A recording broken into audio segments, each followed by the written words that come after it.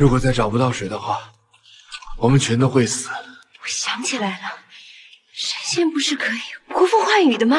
如果他真是神仙，我就是玉皇大帝了。听着和尚轻蔑的话语，男人立马掏出了符纸，随后用口水做墨汁，决定好好的露一手。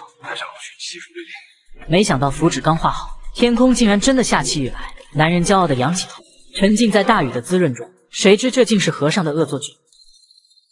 你这样做是让菩萨蒙羞，实在大不敬。和尚刚想嘲笑他几句，却突然看到了什么东西，于是直接跳下石头，朝着远处的沙漠狂奔而去。就在那儿！